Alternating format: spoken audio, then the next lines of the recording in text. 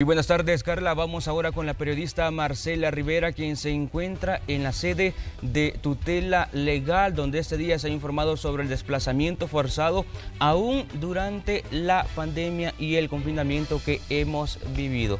Marcela, muy buenas tardes.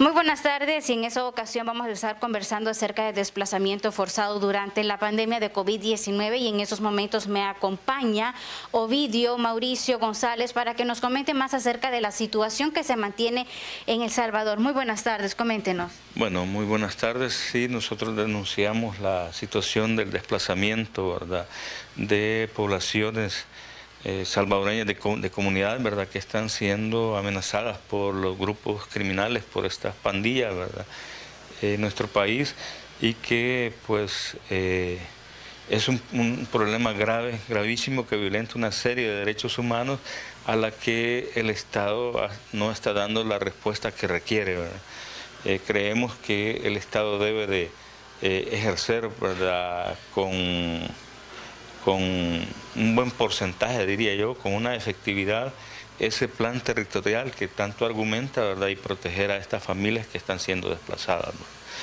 Eh, creemos que eh, eso afecta a nuestro país, eh, no solo a la familia, ¿verdad? Porque la familia tiene que eh, buscar otros lugares donde irse a, residir, a esconderse de, las pandillas o incluso dividirse la pandilla, como le decía, ¿verdad? Como dividirse la familia, ¿verdad? Dividirse, entonces eso causa mayor problema, esa, esa, esa desagregación en la familia, ¿verdad? Entonces, Pero hablemos también acerca de los números. ¿Cuántos casos se han registrado desde marzo hasta la Bueno, nosotros ahorita, hasta la fecha, hemos recibido alrededor de cinco denuncias. Eh, dos durante la pandemia.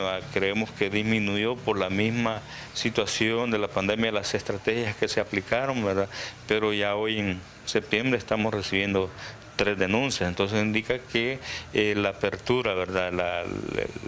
lo que la pandemia eh, evitó, hoy se está, se está dando, ¿verdad? Entonces creemos que puede ir en aumento. ¿La causa principal? La causa principal sí son las amenazas de pandilla, ¿verdad? Eh, desplazamiento por situaciones económicas, eh, la gente no va a venir a denunciarnos. Ok, muchísimas gracias compañeros, esa es parte de la información. Les reitero que de marzo a la fecha se han contabilizado, bueno, tutela legal ha contabilizado cinco casos de desplazamiento forzado acá en El Salvador.